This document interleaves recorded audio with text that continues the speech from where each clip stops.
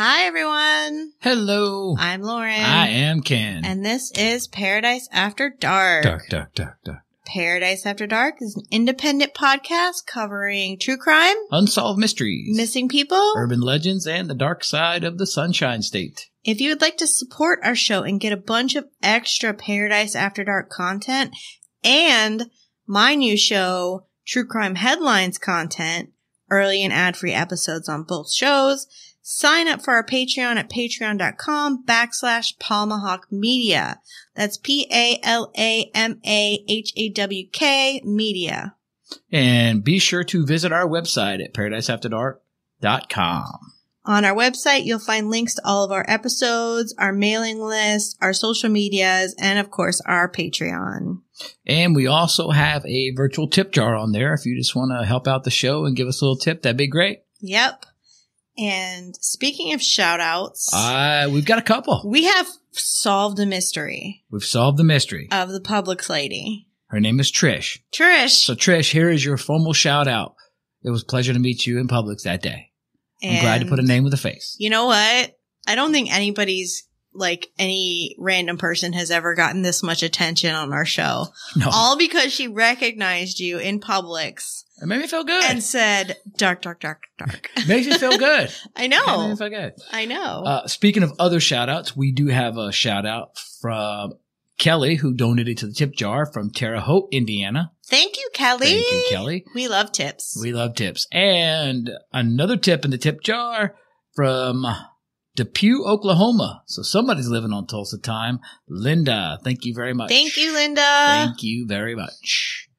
So, Lauren, This week we are discussing an endangered missing case. We are discussing the case of missing Diane Francis.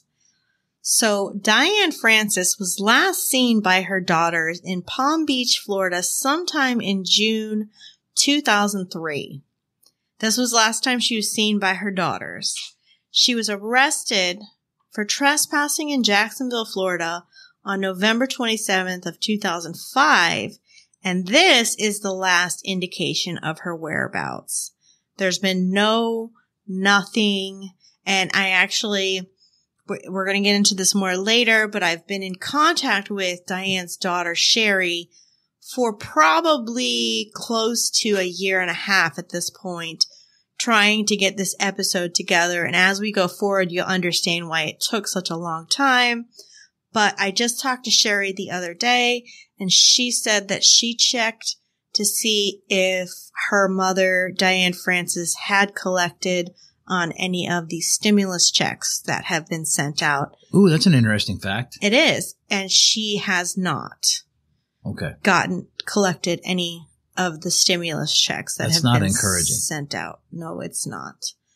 So let's get into the story of Diane. She was born July 7th, 1968 in Somerville, New Jersey to Rosalie Lamonto and David Leslie Francis Sr. She has two younger brothers, David Leslie Francis Jr. and Michael J. Francis. Diane had a normal, happy childhood until her parents separated when she was about 12 years old.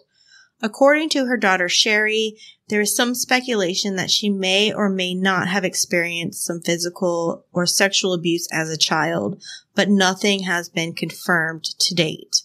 When her parents divorced, Diane and her brothers moved to Florida with their father. This is when Diane's behavior started to change. Her brothers called their mother once and told her that Diane was sneaking boys into the house in the middle of the night. When she reached high school, she was described as drop dead gorgeous and boys were constantly pursuing her.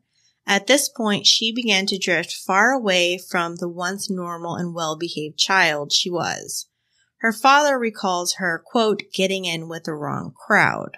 I think all of us at some point in our life have been in with the wrong crowd. And some of us realize it quickly and some of us don't, sadly. So at the age of 16, Diane became pregnant. Now she would later give birth to this baby prematurely in the hospital bathroom. Now sadly, her baby girl, Stephanie Francis, was born and died on April 11th, 1985. Now there are different accounts of Diane's reaction and behavior after the birth and death of her first daughter. Some say she never bounced back from it, and others say she was cold, callous, and didn't seem to care. But we all know grief is a funny thing, and you really can't judge anyone who's suffered such profound loss, especially at such a young age. 16, yeah, you're not I even, can't. you're still a child at, at that Yeah, time, too. I can't so- even imagine. Now, the details are unclear, but at some point, Diane moved back to New Jersey, and we are not certain if this was before or after she dropped out of high school in the 12th grade. Now, in the year 1990, Diane met Charles Edward Snyder. A year after they met, their first daughter, Jessica, was born September 22nd, 1991. And on June 15, 1983, they welcomed another daughter, Sherri. Now, according to Charles Snyder, at some point between the two pregnancies, Sherri started doing a lot of drugs and partying, as well as cheating on him and not coming home some nights. He even claimed she did drugs while pregnant with Sherri. Now, these claims are not confirmed. They are what was told to Sherri by her father. Now, the couple would continue to live in New Jersey, moving there in order to make ends meet, staying with family whenever possible. Eventually, they would end up in the state of Florida again in the year 1994. Diane said she wanted to be near her father again. Just one year after their move to the state of Florida, they end up in a trailer park where Diane met a man by the name of John Schmidt. She told Charles, I'm going to marry John and he's going to be the girl's father now. Charles then moved back to New Jersey to be back with his family, and his daughters never saw him again. Diane continued down the same path, dating different men, and there was always drugs involved. Her daughters were taken by social services and put into foster care at least three times over the next several years. The girls were also shuffled around to other family members, everyone just waiting for Diane to get it together enough to raise them herself. But unfortunately, that never happened. Yeah, it's a once you're in the realm of that scenario, it's tough. You can't get out of it. It's kind of like being arrested. You It's know, like a vicious cycle. exactly. It's Yeah. like once you're in the system, you're always in the system. It's tough to get out. You can't break the cycle. Yeah. It's always a tough scenario, and so Yeah, I, and I've seen it, and I've had even family members go down that path, and that's just yeah. And if you've got an addictive personality, it's tough because Yeah. the the opportunity seems to always present itself when you see certain people. right. So you, you literally have to like go somewhere where no one knows you to like try sometimes. It makes it a little tougher. Well, Diane eventually met John Taylor Boggs. Now, this was the day he got out of prison in 1997. Now, Boggs had served four years in prison for burglary, and the relationship was volatile to say the least. Sherri remembers one night in 1999 when Boggs threw Diane across the house and then punched a hole through a door trying to get to her. And then Sherri and her sister began jumping on him, kicking and screaming to try and help their mother. Now, Diane would later deny all of this abuse to the police, and she wanted to continue on as if nothing happened so she could keep her place to live, mostly for her daughter's sake. I get it. It's tough. Yeah. It's really tough. But not long after, she lost her daughters again, and this time she tried to take her own life. Despite the abuse, the drugs, the drama, Diane and John Boggs were very much in love with each other. And Sherri remembers times they had that were good together, and she even claimed that it wasn't horrible 100% of the time. Yeah, she described it to me that there there was good times and it wasn't 100% horrible, but there was some dark times as well Yeah. during this time period. But in the year 2000, Diane met a man named Roger Allen Foreman, Sr. Roger was driving down the road one day and spotted Diane on the side of the road walking. He stopped to speak to her. She told him she had just gotten into a huge fight with her crazy boyfriend, John Boggs, and she explained that she did not want to go back home to him. That was the beginning of their relationship right then and there, Diane and Roger. Roger was good for Diane. Soon she was allowed to see her daughters again, mostly on arranged, supervised visits, and soon after she regained custody of them. She seemed happy, always joking, almost back to her normal self. But that didn't last, unfortunately. In 2003, Diane lost her girls for the last time, again for drugs and neglect. Her parental rights were terminated and her daughters never saw her face to face again. At the time of her disappearance, she was living a transient lifestyle, what many of the missing person flyers and websites call high risk. Although her last arrest was in Jacksonville, she was known to spend time in southeast Florida. Her most recent addresses were in Melbourne and Palm Bay at some point in 2006, the, the, actual date is unknown, she called her father asking for her birth certificate and social security card. Now, she asked him to mail the documents to a hotel in Jacksonville, which he did. So her father complied, sent it to her. But when he tried to contact her again later on, she was gone. So at this point, we know she was in Jacksonville in 2006. And as far as we know, this is the last contact she had with any of her family and her daughters have since hired a private investigator to look for Diane, but he was unable to come up with anything. So Diane was 37 at the time of her disappearance, but she would be 52 today. Her hair has been described as blonde or brown or strawberry blonde, and the last time she was seen, it was shoulder length and straight. Her eyes are brown or hazel. She's five foot three inches tall and 100 to 120 pounds. She has a tattoo of a heart on her left calf and a tattoo of the letters JT on her right arm, and her ears are pierced. She has scars on both arms and on her face. She has a space between her two upper front teeth where the teeth turn away from each other. According to the Charlie Project, she may go by her middle name, Teresa, or use the alias names Diane Teresa Foreman and or Kimberly Teresa Foreman, and she has used uh, nicknames like Kimmy or Dee Dee in the past. Well, situations like this, you kind of just hope it's, you pray when you hear these missing cases that are so old. And like you had said that there's, you know, the stimulus checks were never submitted, cash, whatever.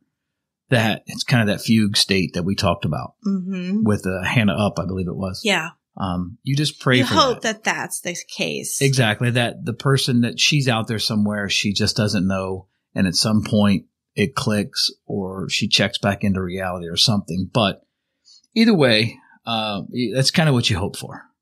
So we, we, and by we, I say Lauren had the pleasure to speak to Diane's daughter, Sherri. And so let's go ahead and let Sherri tell you a little bit about her mother. Yeah, we're going to play the interview for you now.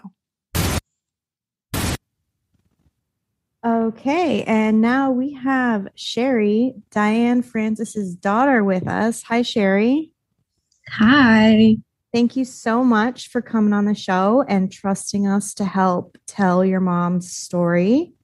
One thing I want to tell you right off the bat is that there's not a lot of info out there about your mom. I mean, for the average person just Googling it, wanting to find out more information about her disappearance. I know that there's a there's a ton of info that you sent me uh, that you have, but right.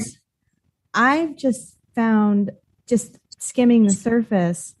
There's not much out there, which is one of the reasons why it's great that we have you to talk to to answer our questions. Right. So touching on that a little bit, um, basically the only reason I could see, you know, there not being too much public information is this is a fairly new case. And I want to explain that a little bit because it's not a new case. It is a cold right. case, but it is newly reported. So there right. was an there was an attempt to make in a report in 2015, but she didn't actually get reported until about two years ago by me. And I had to use an out of county detective to get that report taken, even. Um, just jumping through hoops of fire to try and get it done.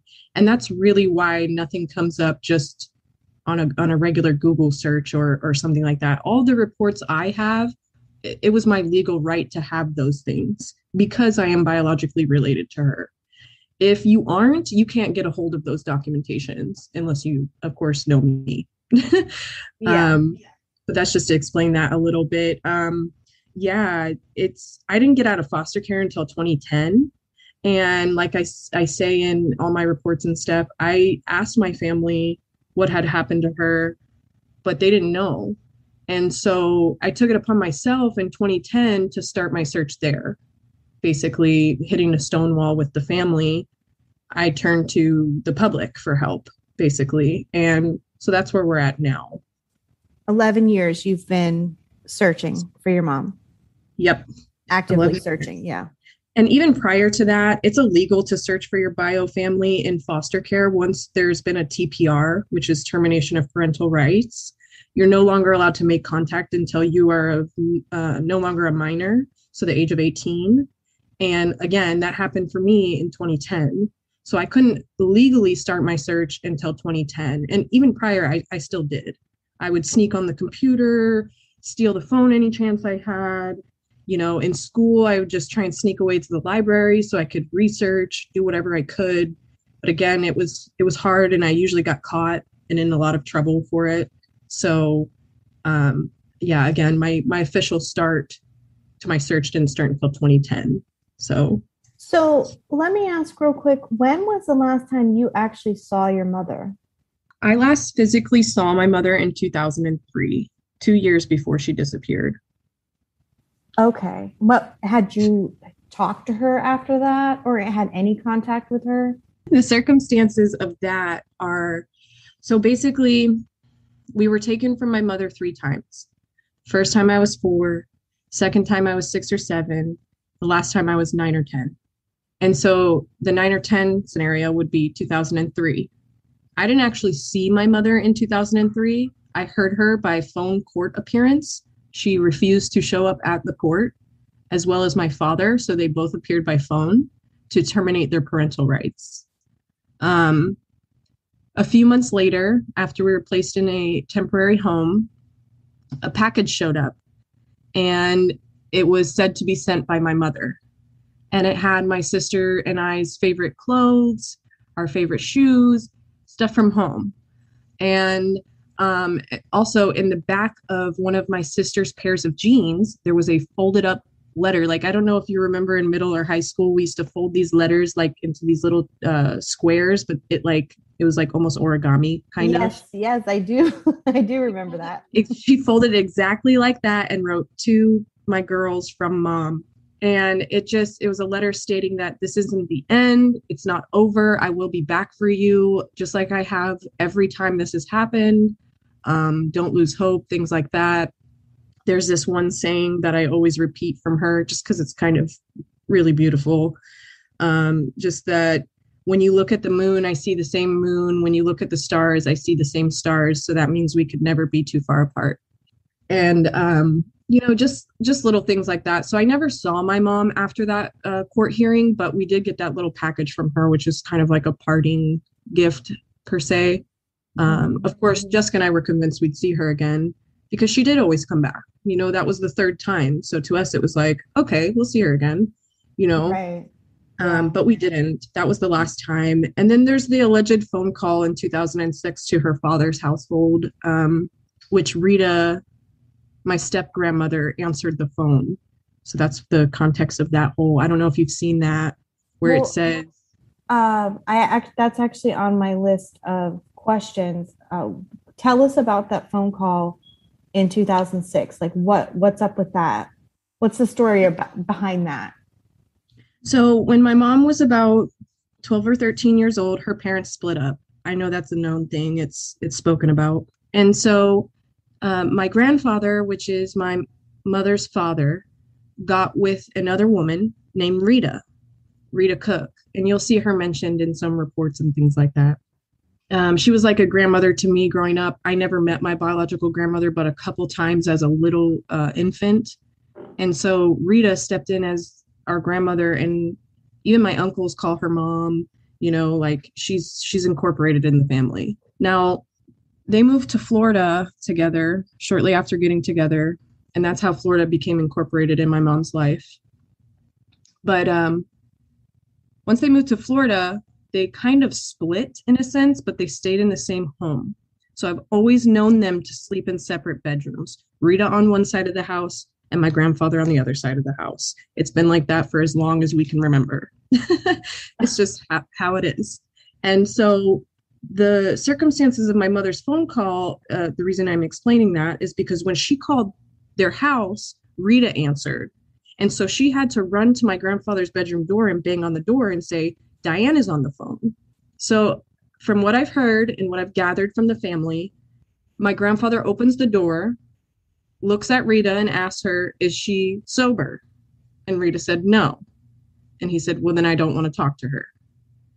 And apparently she asked for some um, like her social security card and birth certificate and things like that. I'm not sure why. I can only assume to either collect government assistance to move out of state you know whatever you might need your identity for um, right. purchasing something large things like that. So apparently he says he sent it to her but that when he called the hotel back, this was the same hotel that was mentioned in those reports as well on Cagle Road or Cragle Road, Cagle Road in Jacksonville. Uh, he said the the hotel was shut down when he called back in order to try and figure out why she was calling or you know see how she was doing, what have you. The hotel so, was shut down. How do you know how much time had passed between the time he mailed the documents and the time he called? He said like six months and it i've so with my detective brain i have gone on google for numerous amount of hours just looking on google maps trying to see what's up with this hotel. And so what i've come to the conclusion is that around that time period when the hotel got closed down something bad happened. I'm not sure what i can't prove it i can't find any documentation i'm not a law enforcement officer i don't know how to do that. But you can tell that they completely shut down the hotel at that time period. Everyone got kicked out of every room and they changed the name of the hotel. They didn't change the carpet in the rooms, they didn't change the beds, they didn't change anything else other than throwing a tarp over the sign on the road that says Econo Lodge. So it's no longer a Ramada Inn, it's now an Econo Lodge. And I've gathered a rumor about the new hotel, and apparently the same likes of people hang out there. And it was not a great hotel when my mother was going there. It was known for bad things. So what makes you think something bad happened? I just don't see why they would close down the hotel and immediately throw a sign over, you know, you know what I mean? Like it's just it was a little creepy to me that right at that time period where she disappeared and was being caught for prostitution in that hotel, they shut it all down and changed the name of the hotel but didn't even clean the carpets or anything on the inside. It's literally just the same exact hotel. You know what i mean? I don't know. Yeah. i may just be crazy but it seems odd to me. And like i said i spoke to the security officer. I don't know if i told you that. I contacted the security officer that actually maced my mother in one of those reports. No i don't uh, think you told me about that. No. Yes so i texted him um, and he wrote me back, but he claims he doesn't remember. He doesn't remember. He hasn't, he said, I haven't been over there since 2006 when all that stuff happened. That's all he said. And then he would never answer me again. I said, What stuff? he didn't he didn't clarify so i just kind of was oh, like okay happened that's that's ominous that's right ominous and statement not to mention my mom's like 90 pounds soaking wet and she put up a heck of a fight with these two officers.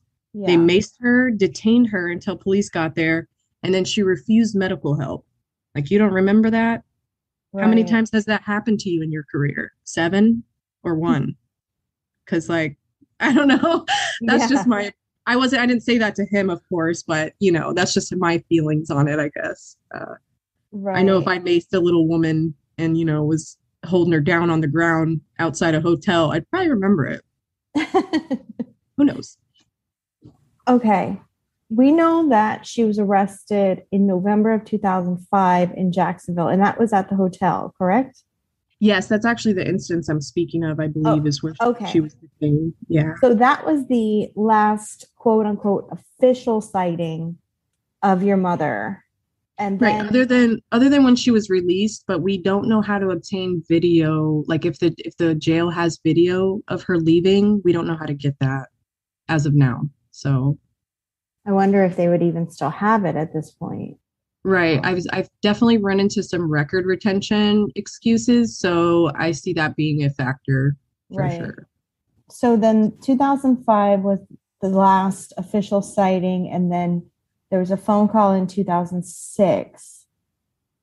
But what's up with the ex boyfriend who reported her missing in 2015, 10 years later?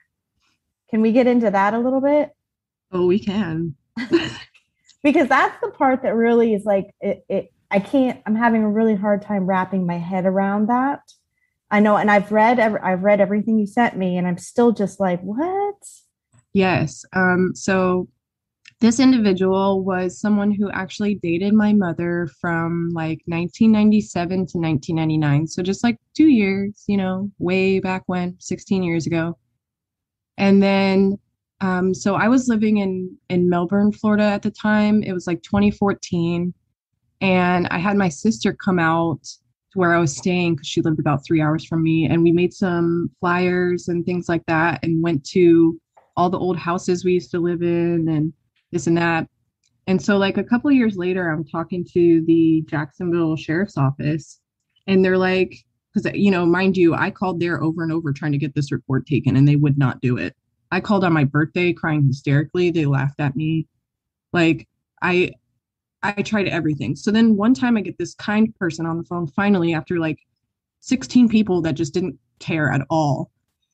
This woman gets on and she's like, So I'm seeing here that there's a report from 2015. If you can tell me what that's about, I can release the rest of the information about the report to you. And I said, 2015? Mind you, like I haven't seen anything on my mom other than like 2005 and prior. So I'm like 2015, I'm like racking my brain trying to figure out what this report could be and, you know, related to. And she she gave me the first name and she said, "Do you know a so and so?" And I said immediately said his last name and she said, Yes, that's it. And started reading off the report from 2015 from the ex boyfriend. And I was like, What is this? What is going on? Like, I, it was just blowing my mind. I'm like, What do you mean he tried to report her missing 16 years after seeing her last? And you guys just took it? And she goes, Oh, no, we didn't take the report. It was open for about 30 minutes and then they closed it out. And I'm like, and I'm like, what? So and like, mind you, their law enforcement, they can see that this person was my mother's abuser. He used to beat the living daylights out of my mother in front of my sister and I. And we used to jump on him and scream and try and get him off of her and try and help her. And then 16 years later, he's like, Oh, yeah, I'm worried about her. So, I, oh, and I'm the stepfather of her kids. So I just decided to call in to see, you know, what was going on. Why? Why? Yeah, like nowhere ever, nowhere ever is that normal. No, no, I'm sorry. No, you're right. Like I can't, like I said, I can't wrap my head around. Now, what was it? What else was going on in his life at that time, though?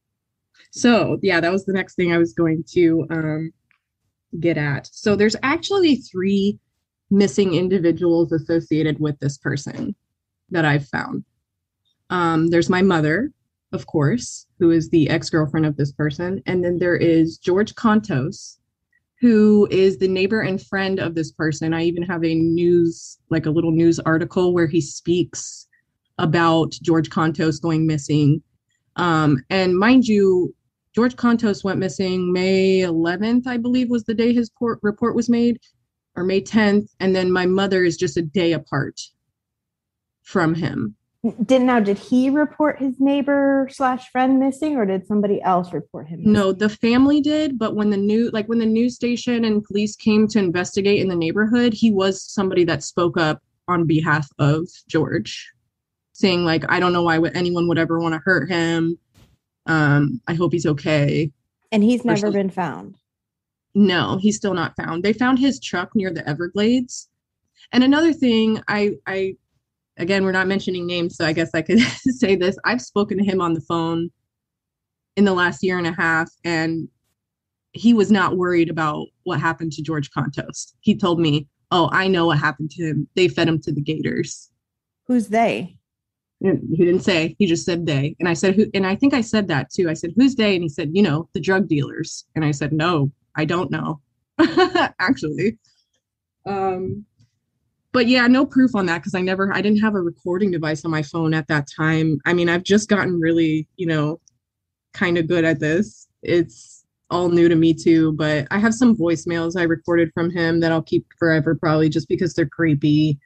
Um so and then again, that's George Contos. So that was the neighbor. He lived right next to this person, pretty much four or five houses down. And he goes missing. And then the next day, this person reports my mom missing or tries to, I guess. So just one day difference there. And then I'm I'm going through this person's page on social media and I'm I'm looking and looking for family because mind you, he stopped talking to me a year ago also. Just vanished off the face of the planet. He's not deceased. He's not in jail. He's just ignoring me. Um, he blocked my sister. So I think he knows I am suspicious. I don't really know what he thinks, but again, I have no solid evidence. I'm just going through ideas here, but um, scrolling through his page looking for family to see if I could contact someone to, to make sure he's okay. You know, I haven't heard from him in a year now. And some of his friends were posting on his page, like, hey, are you okay? I haven't heard from you. I sent you a birthday card a month ago. What's going on? Nothing. So I'm scrolling through his stuff and I see this girl named Jess. And I'm like, hmm, I know he has a daughter named Jessica. So I thought that that was her. And I click on this Jess girl, and all over her Facebook is her mother who is missing. And her name's Sherry Campbell. So again, there's another association Sherry and Jessica. Those names are familiar. Um, and to me, Wait it's just your odd. sister's name is Jessica, right? Yes. Okay. So the fact that he he's got a Sherry and a Jessica on his page and there's a missing person involved in that scenario just threw me off. I was like, whoa, what is going on? There's a whole nother missing person attached to him. And like I explained to you, and, and I tell everyone, I have one missing person involved in my life. That is one too many. Okay. This person now has three missing people involved in their life. That's three too many. Like, I just, I don't know how obvious things have to be, but like nobody listened to me for a very long time with the associations. They just thought I was nuts. They were like, who cares? You know, like what difference does it make? But to me, right. it's just all too coincidental. I, I too many coincidences and now you got my attention kind of thing. Um but yeah, that's just a thing that I that's just a factor of the case that I kind of go back and it's like poking the bear, you know, like poke it and then you go away for a while and then come back and poke it and then go away for a while and then you find more evidence come back and poke it i'm getting yeah. there but i just don't exactly know where i'm getting to if that makes any sense i don't right. know if it leads anywhere i you know i hope it doesn't for his sake and everyone's sake involved but i'm not going to just ignore the numerous coincidences like i said that's that's really where that's at so when he said that his neighbor was fed to alligators by the drug dealers, was your mom on drugs? Was she involved with drug dealers? Um, yes, my mom was a drug addict, and she was also a prostitute. Um, which, again, no factual information, but I've heard that this person does dabble in the prostitution side of things where he lives. So um, and not in a good way. So when I when I think of this, just this where my mind goes. Just at doing this for four years, my mind goes to trafficking or drug related something. You know what I mean? Like, what do you have any theories? Like, what in all of your investigating, which girl, you have got a lot of information. I mean, I got to give you props for everything that you sent me. I was like overwhelmed. I was like, holy cow, how'd she get all this information?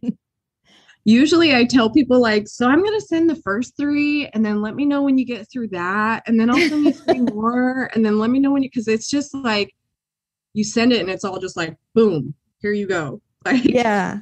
Wanted it's, the case? there it is. Like you should um, you should go to school and be a private investigator or something. You think you'd be good at it. so what do you think happened? I mean, if you had to give a theory, what do you think may have happened to your mom?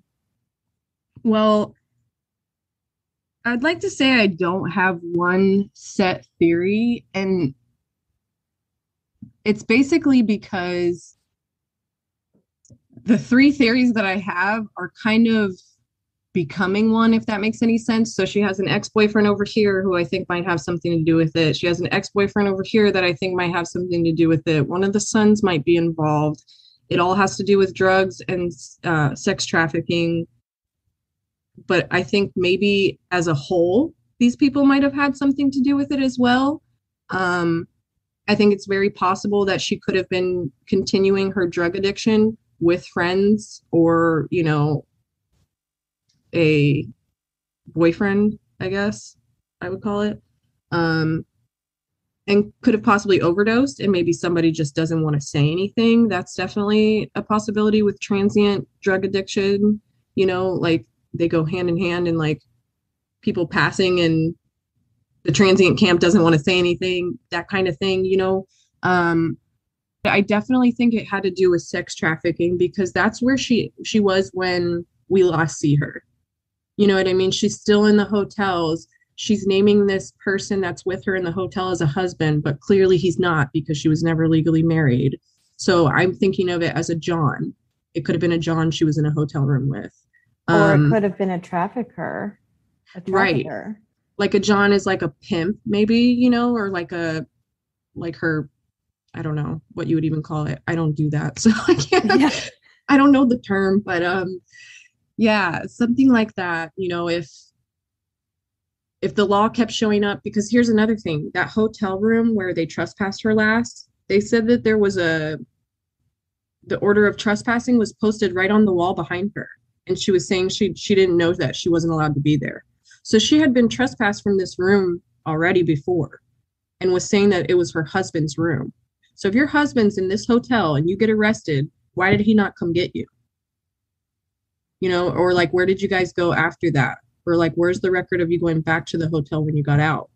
I just, to me, it's like stuff ended at that hotel. And I don't know if it was with the, the guy she was with or if it was lo- with law enforcement or what. But it seems like after that hotel in November 2005, she's nowhere to be found. And it was like she just kept going back there. So why all of a sudden did you stop? That's my thing, you know? Mm-hmm. I'm not mm-hmm. sure. So there's a very real possibility that your mom was being trafficked at that time in 2005. And I know that that's 2005 is what 16 years ago. Mm-hmm. Human trafficking wasn't really a thing. I mean, it wasn't as well known as it is now. But do you think that that could be what was happening with her? I really do believe so. Um, because prior to this uh, occurrence in November 2005 at the hotel, she had a couple reports of her being in the trailer park, like right next to this hotel, which was not even a mile away. So, still in the same exact area. And she was found street walking. Someone reported her, probably like a peeping Tom looking out their window. They just called it in and said, mm-hmm. you know, there's someone walking very provocatively down the road here. Um, and so she was apprehended for that but was let go because they couldn't prove anything. Um, and then there was another one where she's in the same trailer park with her pants down, urinating or something like that. So, and then there was another report from that same neighborhood. She's like in front of a church throwing beer bottles or something. So she stayed in that same general area until November 2005. So to me, it's like someone took you from there and took you somewhere else, or you took yourself away from there and went somewhere else because well, after 2005 you're just gone from that area so well and that's my what's that's one of my thoughts when i come to the trafficking theory is that women are moved around all, around the whole country even around the world right. if they are you know being held against their will or being held by drugs or you know i know a lot of times they'll they'll get the women addicted to drugs and then they'll feed them the drugs so the women won't go anywhere because they have to come back for the drugs okay so we have the theory that she was possibly trafficked. But then there's also the abusive boyfriend who randomly reported her missing in 2015, who's also connected to two other missing people. Mm-hmm. Then I have a thought. What a, what if she got her social security card and birth certificate so she could disappear herself? That's always been a thought too, um, because as you've probably all seen, there is a alias that pops up right in the 2004 2005 area. So it's almost as if maybe she knew that my sister and I might be getting out soon and didn't want to be found. Um, that's definitely been mentioned a few times in the past. You know, what if she doesn't want to be found? And Right. mind you, that's clearly possible, but it is up to me to find her for my own good and her own good before she does pass, if she is still out there. You know what I mean? Because that's a missed opportunity that you don't get back.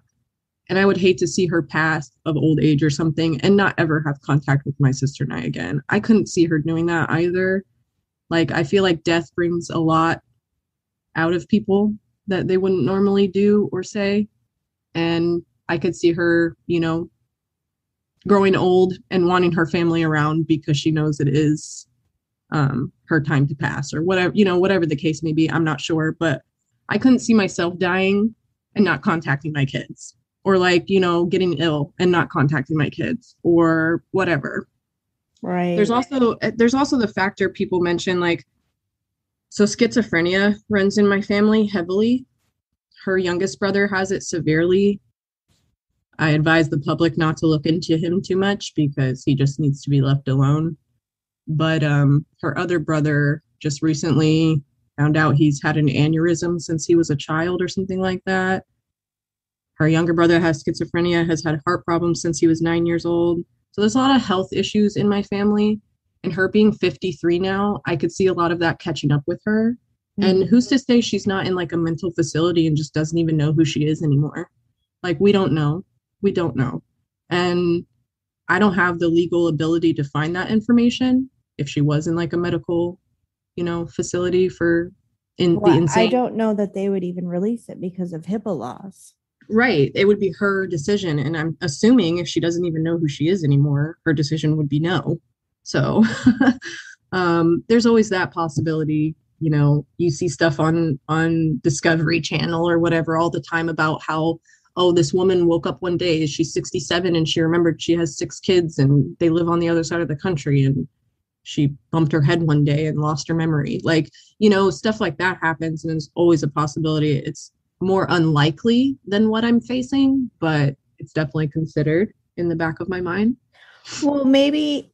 I mean, there's always the possibility. It what it may not be that she didn't want to be found by you. Maybe she got herself into a bad situation and she just needed to disappear and get away from it.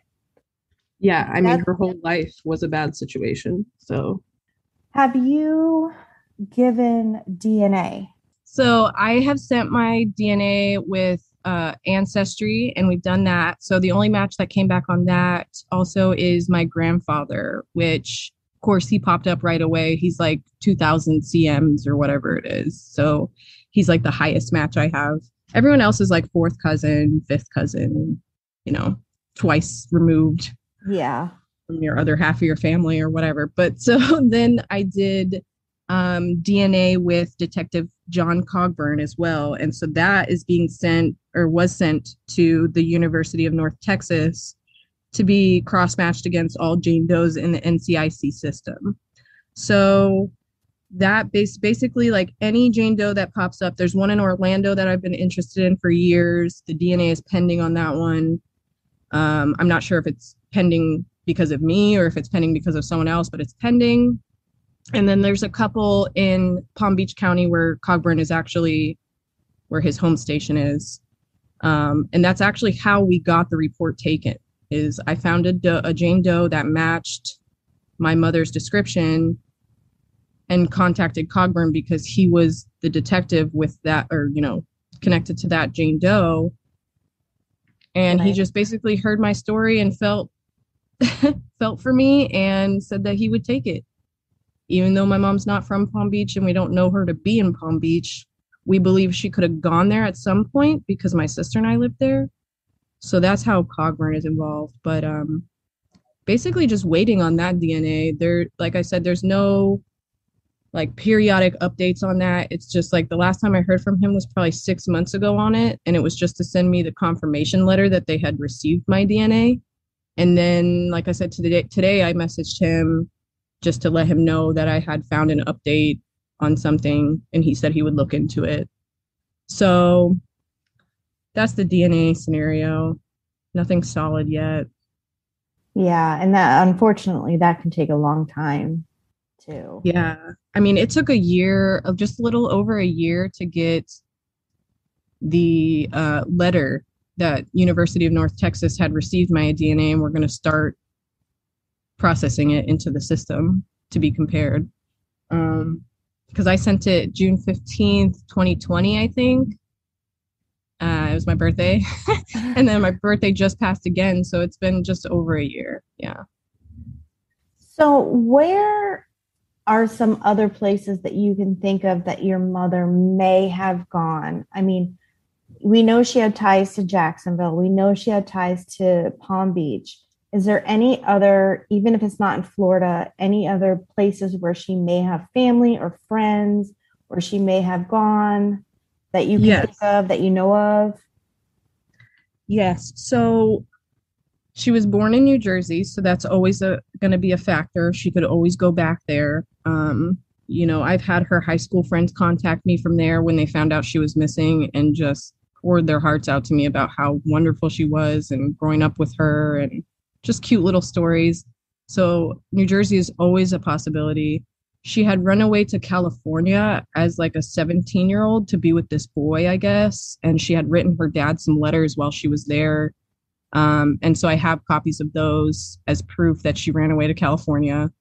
Um, but I don't know. Again, that was just like some guy wanted to take her there. And so she went with him. I don't think she knew anyone there. She was there for him alone, kind of thing. Um, Okay. But but again, you never know. Maybe they rekindled. Who knows? I don't know. so California, and then um, her mother actually lives in Illinois currently. So I just always keep that as an open option because I know I would want to be wherever my mother is. So maybe she has that feeling too. Who knows? But yeah, her mom's the only one that lives there really in Illinois. Have you Other spoken to her mother at all about her missing? Yes. So I've spoken to her mother a few times. We're currently not speaking, um, just because she, I don't know if she's just so hurt by all of it that she tends to take it out on me sometimes. But she left me this voicemail basically stating that she knows I'm talking to my mom and like like I would do that behind her back or something. I never would do that if I found Diane, the first person I would call is both her parents and my sister. But Rose no longer speaks to me because she believes I'm speaking to my mother somehow.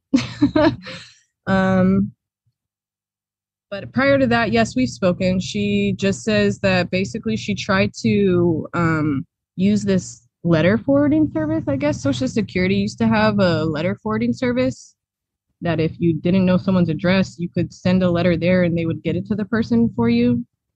And they stopped doing it in 2005, I think, or 2006. But um, she says she tried to do that. And that during the time of my mom's disappearance, her and her husband were going through a lot of medical issues and things. And they were also moving states. They were moving from Jersey to Illinois um, to be closer to better doctors for her husband, Dominic.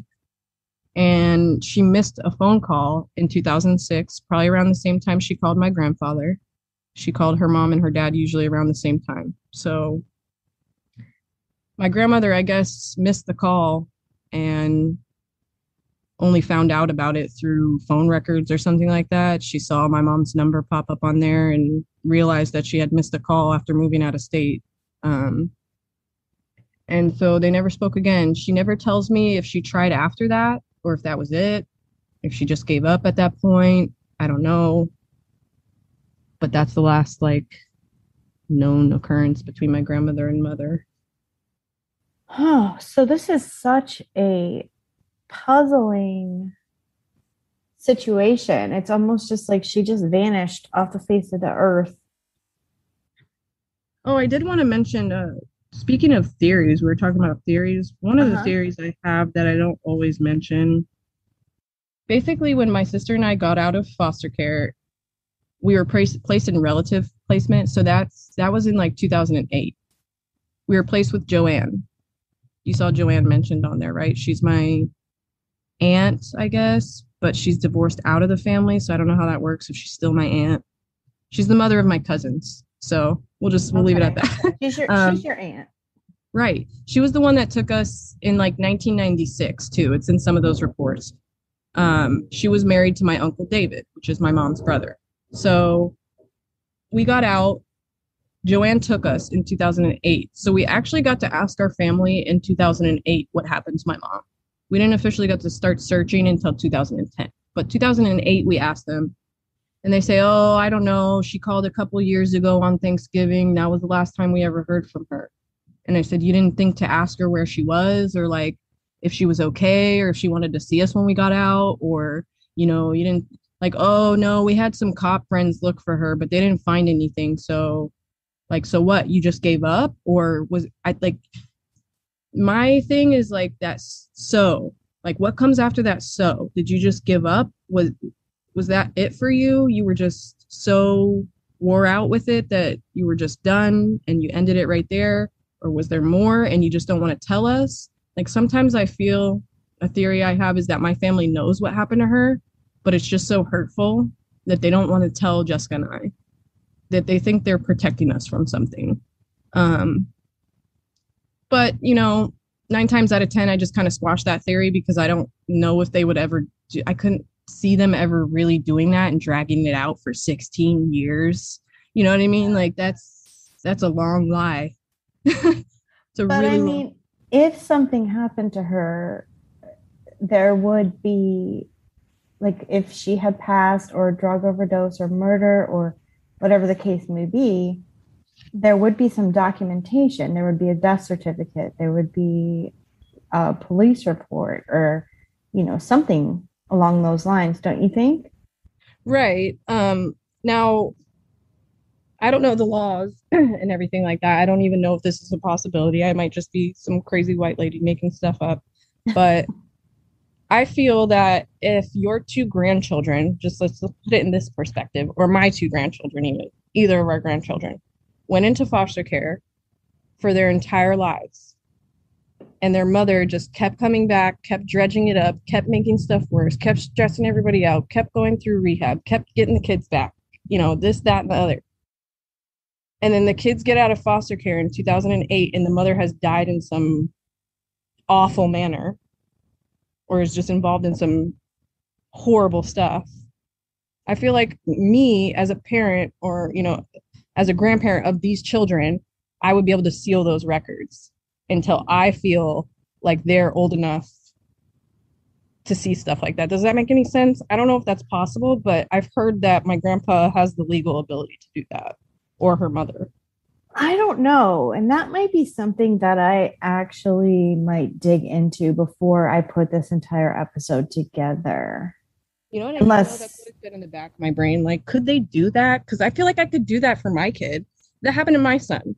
You know what I mean? I know he's only three right now, but if he was like 37 and something happened, I feel like as his mother, I'd be able to say, no, that's not information for everybody to find out. That's my information. And when I'm ready to give it, I will. I don't know. Yeah, I don't I don't know about that though. I don't know about the laws specifically. Um it's kind of funny that you mentioned that because I've been searching for a death certificate from New Jersey for like a year now and I can't find it. So maybe Well, and it Maybe- also there's a, there's always the factor of it being unsolved. You know, it's a known thing with cold unsolved cases that they don't release information on purpose or they don't let those records be revealed on purpose because they want the offender to come forward with information they haven't released yet. Does that make Right. sense? Like, yeah, yeah, that is a very well known tactic of law. right. Like, we didn't tell anyone that this person was stabbed with scissors and you knew that it was scissors. So it must have been you. Like, right, exactly. stuff like that. So I could see that being a thing. I don't know how records work, of course. Like I said, I'm not in law enforcement, but I've dug up as much as I physically and legally can so far. And I haven't found anything. Which is a lot. thank you. Thank you. Yes, I've tried. So, is there anything else that you want the world to know about your mom or any information you want to put out there that may help anyone who might be listening, anyone particularly in the Jacksonville area that was there in the 2005 2006 timeframe or Palm Beach area? Like, is there anything you can think of that you would want to put out there? Like identifying information or just any information? Any anything you can say whatever you want. I mean, I what do you mean by identifying information? Like I already I'm just have like- your mom's description, which I'm gonna put in there. I'm gonna put it in the episode. no, I was just like, I'm looking at this little tiny photo of her. And she just looks so funny um, in her little 80s get up.